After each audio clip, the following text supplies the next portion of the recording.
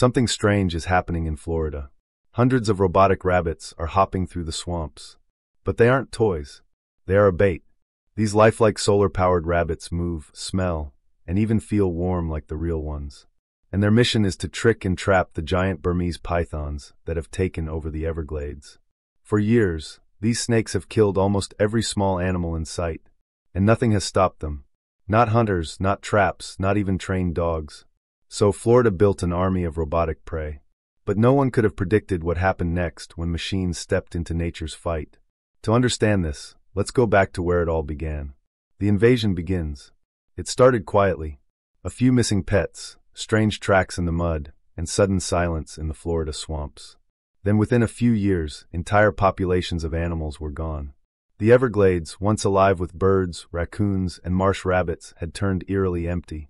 The cause, Burmese pythons, massive snakes, some stretching over 20 feet long, that didn't belong there at all. They weren't native.